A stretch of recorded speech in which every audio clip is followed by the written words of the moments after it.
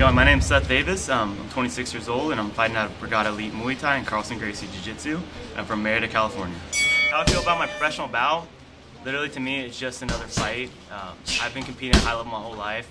Sophomore year of high school, I played football at Angel Stadium in front of 30,000 people. So the lights and all that stuff doesn't mean anything. My first amateur fight, I actually fought at a packed out Citizens Bank Arena. They didn't know what I was signing up for, but I don't care. It's just a fight. We're locked in there, and I know I'm there for one reason, and all the, everything else around that's just noise. Another reason I fight, I like honestly, I like helping people, and that's a big one for me. I'm 17 years old. I was prescribed anti-anxiety, anti-depression medicine.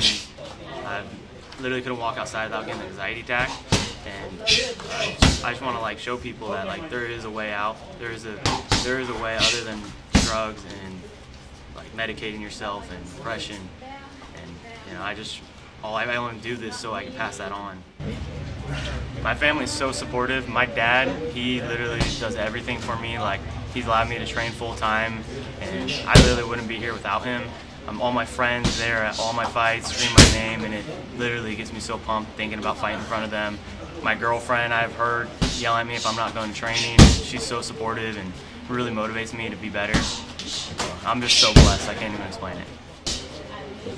What got me into mixed martial arts, um, I always knew I wanted to do it eventually after my football career was over, but um, it ended a little earlier than planned. I never liked sitting in the classroom, so I stopped playing in junior college and just went right into fighting. Fought one month after my last football game and never wanted to turn back after that. Um, when I'm not fighting, honestly, I just love games in general. So if I'm not competing in fighting, it's competing in foosball, spike ball, and anything I can. I love video games. Um, spend a lot of time with my girlfriend, who's amazing. We get along great, so it's kind of perfect. So I don't know. I just live a pretty chill life. Beach guy. I love snorkeling. I love animals. I love going to the zoo. Don't know. I'm not really the fighter type of guy, kind of. I don't drink. I don't party. I just kind of, you know, people are shocked when they find out I'm fighting now. Double. Double jump One. Double.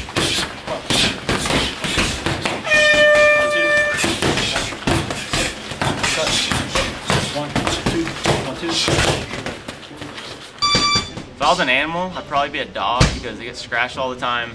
When I was little, I actually used to like dog food, so kind of, you know, I think it'd be pretty easy transition. How I pick my walkout song, really, I don't think about it too much. It's usually kind of just when I'm training and something just clicks, and I like to go on long walks out in the out my trail, and just sometimes a hit a song hits me and it makes me kind of emotional. I'm like, that's it right there. that's gonna be the one. My prediction for this fight is first round TKO with leg kicks.